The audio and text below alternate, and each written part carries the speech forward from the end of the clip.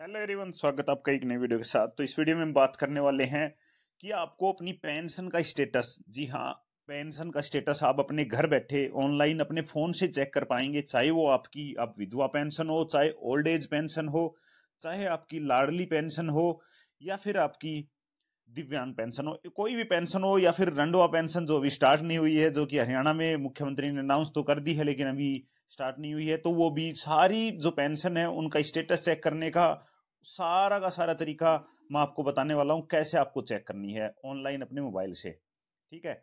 तो अभी जो सबसे पहले तो एक काम, जो आपने जिस भी बंदे ने अपने चैनल को सब्सक्राइब नहीं किया तो चैनल को ज़रूर सब्सक्राइब कर लीजिए, ताकि आपको अपडेट मिलते रहें।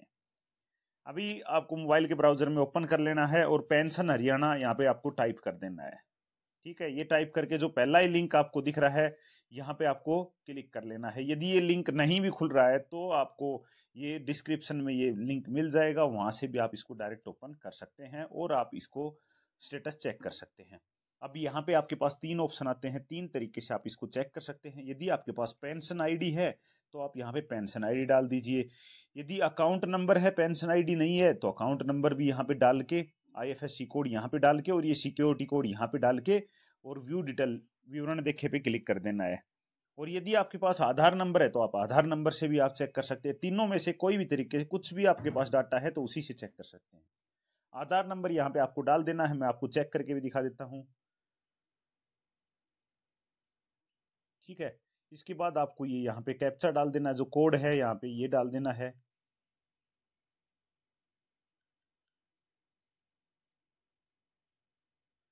ठीक है? और ये इसके बाद जो व्यू डिटेल दिख रहा है, इसके ऊपर आपको क्लिक कर देना है।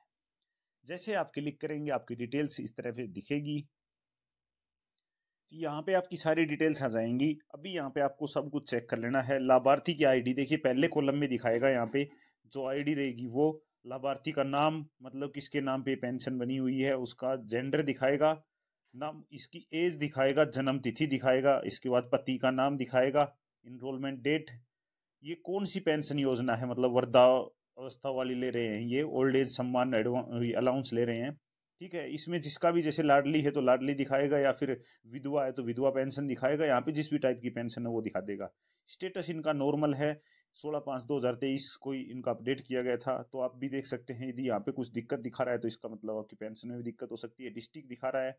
इसके बाद यहाँ पे आप सारी डिटेल्स देख सकते हैं, गाँव का नाम दिखाएगा, आधार नंबर दिखाएगा इसके बाद यहाँ पे आपकी बैंक की डिटेल्स बैंक का जो कौन से बैंक में खुलवा रखा है, उसका नाम रहेगा। यहाँ पे भी डिटेल्स रहेंगी बैंक की, खाते की अपलोडिंग डेट यहाँ पे आपको एक चीज़ करना है। इसके बाद यदि आपको कुछ डिटेल नहीं दिखा रहा है तो देखिए, जो गोल दिख रहा है ना, इसके अंदर जो आपको ईयर सेलेक्ट करना है। मैंने 2023 24 इसमें सेलेक्ट किया है। आपको जिस भी ईयर का चेक करना है, वो ईयर यहाँ से सेलेक्ट कर देनी है। यहाँ पे क्लिक करेंगे ईयर्स के ऑप्शन आएँगे, वहाँ से आप इसको सेलेक्ट कर सकते हैं।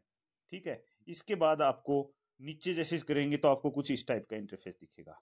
नीचे करके जाएँगे तो। यहाँ पे आपको हर मंथ का जिस भी दिन आपकी पेंशन आई है, कितने रुपए आई है, वो सारी डिटेल्स यहाँ पे आपको मिल जाएँगी। देखिए यहाँ पे इनकी जो लास्ट पेमेंट है, वो अगस्त 2023 को कब आई है? 27 नौ 2023 को। 27 नौ 2023 मतलब 27 सितंबर 2023 को इनकी अगस्त की जो पेंशन थी, वो आई थी। क्योंकि वो लेट थी कुछ रीजन्स की वजह से, वो हमने वीडियो में बताया था। ठीक है? इससे पहले की भी सारी चेक कर सकते हैं। सत्ताईस सौ पचास रुपये इनकी पेंशन आ रही है। तो इस टाइप से आप सारी डिटेल्स आपकी यहाँ पे अवेलेबल रहेंगी ठीक है? फिर भी यदि आपको कोई भी क्वेश्चन रहता है तो आप मेरे को कमेंट बॉक्स में पूछ सकते हैं। धन्यवाद।